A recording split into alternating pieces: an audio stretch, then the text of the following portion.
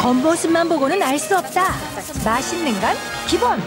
따라하고 싶어도 따라할 수 없는 매력을 가진 오늘의 골목. 인심 폭발. 대한민국을 평정한 맛을 찾아 지금 출발합니다. 오늘 찾아갈 곳은 경기도 수원시. 그 중에서도 인심 좋기로 소문난 권선 종합시장에 자리한 곳인데요.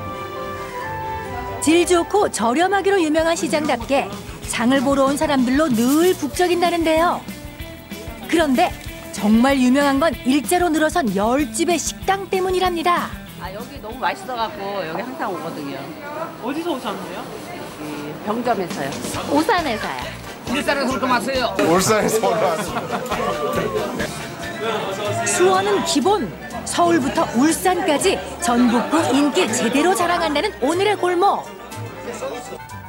그 인기의 주인공은 바로 우와 구수한 맛이 포인트인 순댓국.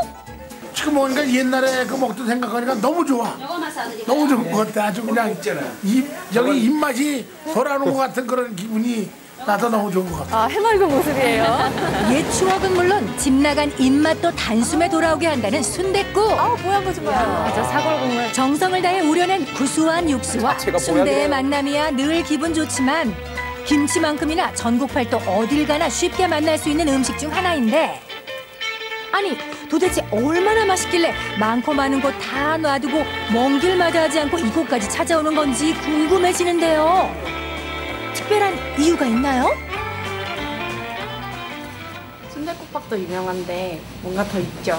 근데 이걸 거저죠, 거저. 아 여기 순대는 서비스고요.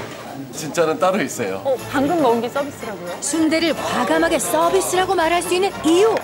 골목의 진짜 주인공은 바로 족발. 여기는 이제 족발만 시키면은 순대와 순대국은 서비스로 주십니다. 국민 메뉴 순대를 물리치고 당당히 골목의 주인공으로 우뚝 선 족발. 이름만 들어도 식욕을 자극하는 족발의 매력.